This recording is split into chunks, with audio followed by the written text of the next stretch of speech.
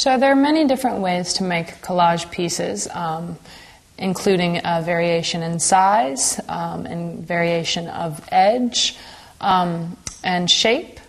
So um, I'm going to go through this series and teach you about different ways that you can make um, different pieces for your collage.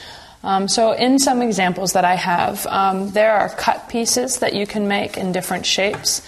you can either work in a sort of geometric um, flat edge. You can work in a more curved, um, shapelier edge. You can work with a rough, um, torn edge. And I'll explain to you as we go along the differences and um, the better ways to use different types of edging for your for your collage pieces. But again, there's all different types of options as you can see, and we'll go through each one step by step so that you get a better understanding of how to achieve each one of them and which different tools that you'll need to use in order to make that happen.